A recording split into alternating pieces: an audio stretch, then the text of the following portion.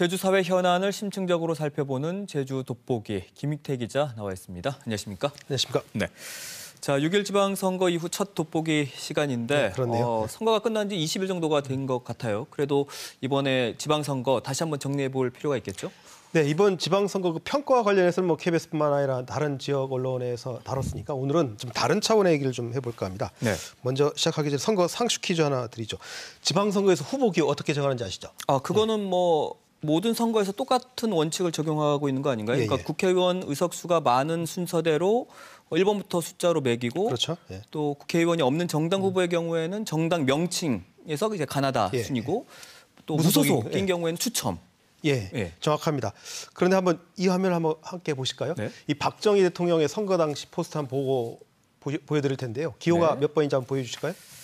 박정희 대통령이 선거 당시의 포스터죠. 네. 어, 지금 잠시 예. 어, 화면이 나오지 안 않고 있는- 아, 지금 네, 나왔습니다. 나왔습니다. 네. 6번이네요, 이게.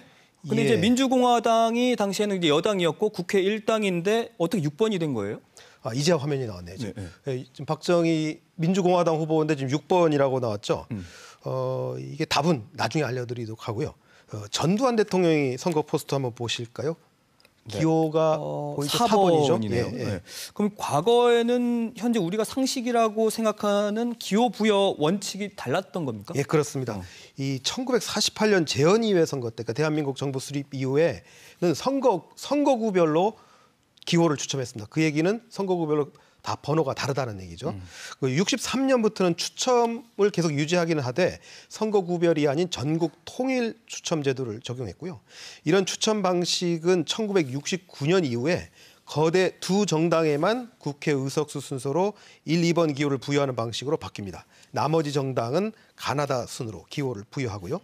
이게 5공화국 들어서 1981년에 잠깐 추첨제가 부활합니다. 그래서 아까 전두환 대통령이 기호 4번이었고요. 네네.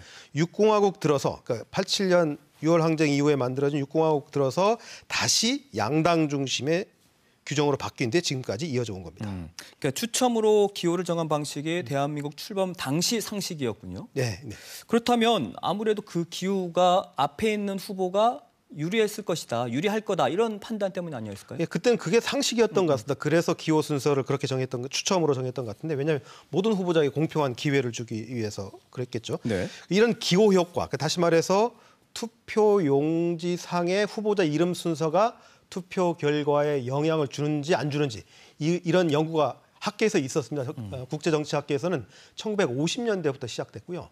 국내에서도 2000년대 중반 이후부터 이 관련 연구 결과가 나오고 있습니다. 그 연구 결과의 공통점은 어떤 형태로든 영향을 미친다라고 왔습니다.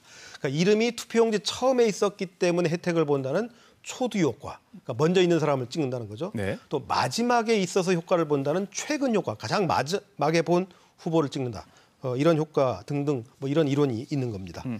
근데 이번 지방선거에서 보면 녹색당의 경우에는 도지사 후보는 4번이었고 비례대표 후보는 5번이었단 말이에요. 근데 예. 이제 국민의힘이나 민주당 같은 경우에는 또 기호가 일치했는데 그렇죠. 왜 이런 현상이 나타난 건가요? 어, 이게 현행 선거법이 거대 정당에게만 유리하도록 변경돼 왔다는 또 하나의 증거인데요. 어, 1997년부터 국회 교섭 단체에만 즉 당시에는 두 거대 정당밖에 없었죠. 이 두 거대 정당에만 전국에 통일된 기호를 부여하는 방식이 토- 처음으로 도입됐습니다. 그리고 2005년부터는 어, 이게 좀 너무하지 않느냐. 두 정당에만 유리하니까. 그래서 국회 다섯 석 이상 또는 직전 선거에서 3% 이상 득표 정당에게까지 전국 통일 기호를 부여했습니다. 그러니까 기존 두 개 정당만 적용하던 이 특혜가 저- 지금은 정의당이죠. 정의당까지만 특별한 혜택을 받아온 겁니다. 어, 그렇게 되면 나머지 소수 정당들은 상대적으로 불이익을 받는 거네요. 그렇죠. 오히려 과거의 그 추첨제 방식이 더 공정한 거죠. 그래서 아마 재헌의회 때 그런 제도가 도입됐던 것 같습니다. 그럼 이 문제를 놓고 또 위헌 심판 논란이 분명히 있었을 것 같은데 네. 헌법재판소의 판단은 어땠습니까? 어, 관련해서 1996년 이래 여덟 차례 결정이 있었습니다. 헌법재판소는 그런데 모두 합헌이다 이렇게 결정했습니다. 그러니까 후순위 후보자에 대한 차별이라고 인정을 하면서도 네. 이 정당 제도의 헌법적 존재에 의해 비춰봤을 때 다수 의석을 가진 정당에게 우선순위 기호를 부여하는 것은 합리적이다 이렇게 본 건데요. 그런데 이 미국에서는 어, 현직이거나 또는 다수 의석 정당에 대한 우선 기호 배정 방식을 위헌 결정한 사례가 여러 차례 있습니다. 어, 때문에 이 우리 구- 한국의 헌법재판소가 이 평등 선거 그리고 선거 운동 기회 균등이라는 이 또 하나의 중요한 헌법적 가치거든요. 이런 가치를 소홀히 하지 않았냐 이런 비판이 학계에서 나오고 있습니다. 네, 지금 미국의 사례를 말씀해 주셨는데 그럼 다른 선진 민주주의 국가에서는 우리가 다른 그 방식을 적용하고 있다는 네, 말씀이세요? 그렇습니다. 오히려 제주, 어, 한국이 좀 특이한 케이스인데요. 미국의 30여 개 주와 호주, 브라질 등에선 과거에 우리처럼 추첨으로 기호를 배정하고요. 알파벳 순으로 배열하는 나라도 있습니다. 그러니까 1, 2, 3이란 기호 자체가 아예 없는 경우도 있고요. 아하. 한번 화면을 보실까요? 어, 지금 보시는 화면은 영국 한 지역구의 하원 의원 투표 용지인데요. 자, 기호가 안 보이죠. 음. 네. 대신 뭐 상징 같은 게 예, 보이네요. 음. 각 정당이 각 정당의 상징인데요. 위에서부터 자유민주당, 녹색당 그리고 기독교계 소수 정당인데 자, 우리는 잘 잘 안 알려져 있는 Common Good 정당이라는 게 있습니다. 어. 그리고 노동당, Independent는 무소속이고요. 다음 보수당, 영국 독립당 이렇게 순입니다.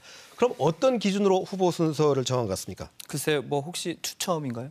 어, 후보자의 성명을 기준으로 알파벳 순서로 정합니다. 지금 보시죠. 아, B, B, C, E, G E. 이렇게 어, 돼 있죠. 그렇네요. 예. 스미스라는 이름이 두 사람이죠. 하나는 이제 음. 캐서린이고 케이스인데 어, 이렇게 성이 같을 경우에는 이름의 알파벳 순서로 나열합니다. 어. 근데 영국에서 1, 2당은 보수당하고 노동당인데 투표 용지에서 순서는 어, 여섯 번째와 네 번째네요. 네, 그렇습니다. 이 지역구에는 그렇습니다. 왜 아까 그 알파벳 번호 네네네. 한다고 그랬죠. 그래서 그 후보 이름이 알파벳이 기준이기 때문에 다른 지역구에선 순서가 당연히 또 바뀔 수 있겠죠. 음. 그러니까 추첨으로 순서를 정한다 하면 호주의 투표 용지도 한번 볼까요?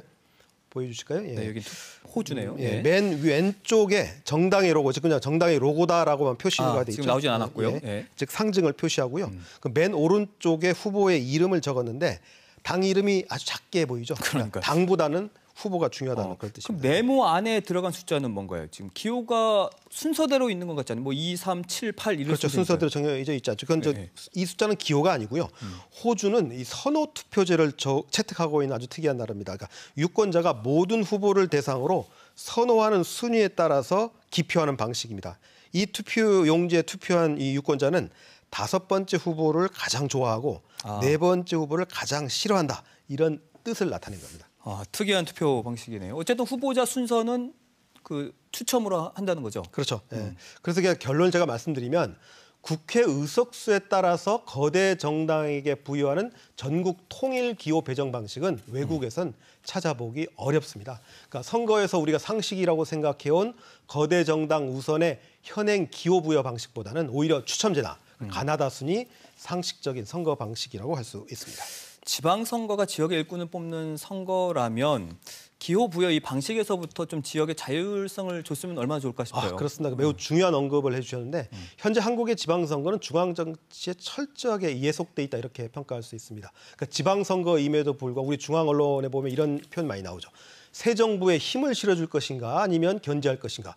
사실 이게 지방선거의 중요한 프레임이 아니거든요. 근데 이러한 프레임으로 삼는 이 중앙 언론의 보도 행태를 보면 어, 우리가 이 점을 확인할 수 있는데 그 핵심적인 이유는 바로 이 중앙당 중심의 현행 정당 체계 때문이다라고 볼 수 있습니다. 네, 지금 지방자치가 부활한 지 30년이 넘었죠. 예. 근데 아직도 지역에 뿌리를 둔 정치 결사체 여기에서는 뭐 선거에서 보면 후보조차 내기 힘든 게 현실이에요. 예, 그 이유가 바로 현행 정당법 규정 때문인데요.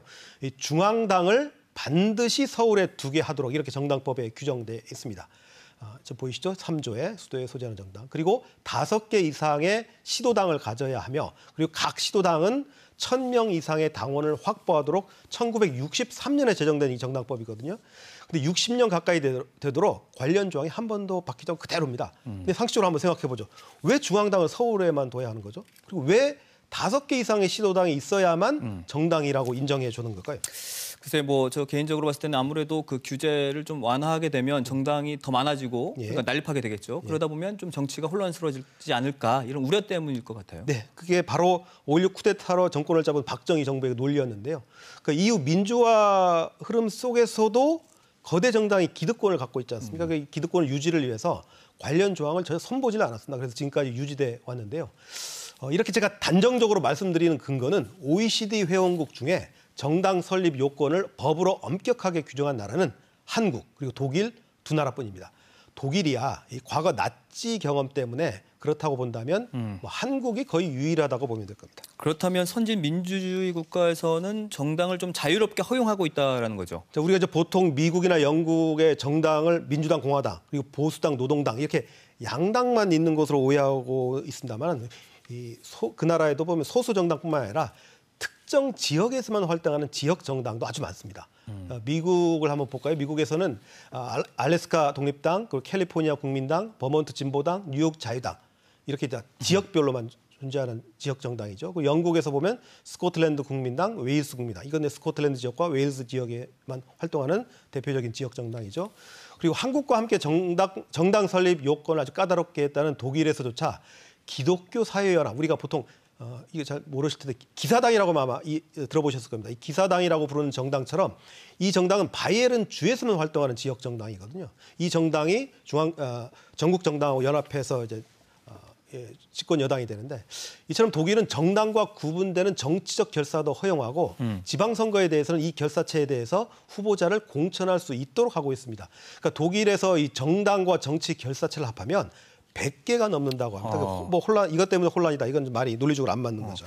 그럼 이런 지금 외국 사례를 적용하게 되면 이번 지방선거에서 무소속으로 나왔던 그 박찬식 후보의 경우도 제주가치라는 지역 정당의 이름으로 나왔을 수도 있을 것 같았고 또 각 그 지역 정당의 이름으로 또 비례대표 도의원 후보도 낼 수가 있었던 거네요. 어, 그런 취지로 시작을 한 건데 현행 우리 현행 정당법에서 그걸 막아 막은 건데요.